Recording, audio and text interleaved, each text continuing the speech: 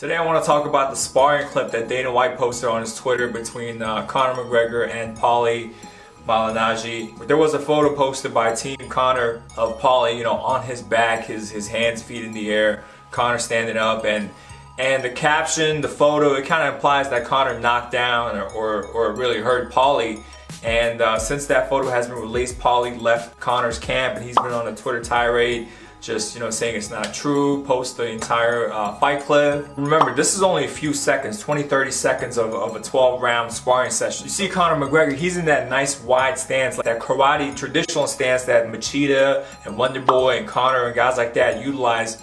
And one thing that really impressed me is that he fired that left straight I mean it, it was a really nice left hand man and you saw Paulie's head it just kind of snapped back and that was a solid shot. And I can't believe that was round 12 because Conor looked great at round 12 at least. As he's moving, Conor again hits him with that nice left straight.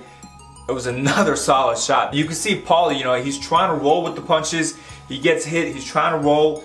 And as he's going down, Conor's just peppering with some small shots. And then uh, this is what Conor does, right? He rests his right hand on top of Paulie's head. He's kind of dragging him down. He's, he's guiding him.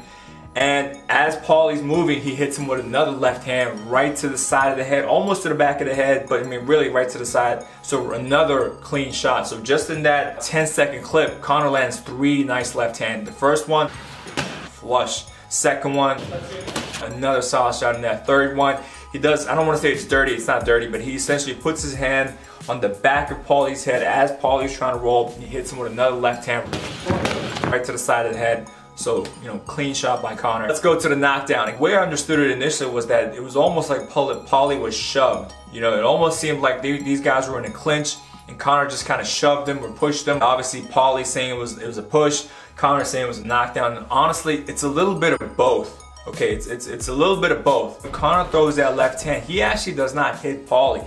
That left hand slides right to the back of his head so he doesn't land, he doesn't land a, a, clean blow. That was I mean he grazed it right there. So that was not a punch. That was not a punch landed by Conor. And when he has his hand there, he kind of drags him down a little bit. And that's when Paulie essentially he lost his footing.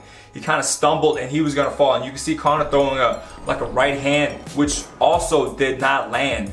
So his left hand did not land. It grazed him right to the back of his head, and Conor kind of dragged him down and as, as, as Conor was throwing that right hand, also it didn't land. Paulie was gonna fall no matter what. So you can see why he's saying that it was, it was a it was a push, right? It was not a knockdown, but it was not a push like how he described it. So again, in, in this case, both Paulie and both Conor, they're both trying to over exaggerate a little bit. Obviously, Paulie's trying to protect his image, and Conor's trying to magnify what he did um, against the former world champion in boxing. You can say what you want about Paulie. He's not Floyd Mayweather, but he is a former two-time world champion. He's a professional, uh, former professional boxer. But, you know, the facts are that he is retired. You saw Paulie's belly. He's not in fight shape, okay? And it makes a difference. I want to clarify that. And people, all, all the Conor fanboys are screaming that you're making excuses, but hey, this is not a fight. He didn't come here to fight. He come here to spar and, and help out a little bit. But he's not in fight shape. Conor is in a different shape right now, fight shape.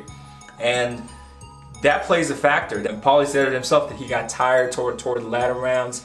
And Conor really had the better of him and, and because of exhaustion. And I believe that to be true. I mean, listen, you get tired. If you get tired, you get sloppy. And when you get sloppy, you get you get caught. And in this case, honestly, it's a small sample, right? But what I did see was Conor throwing that nice left straight this is sparring, not fighting, but I am I'm impressed nonetheless. And I can't wait to see the fight. This, to me, I want to see what happens. I want to see if Conor can land that left straight on Floyd Mayweather.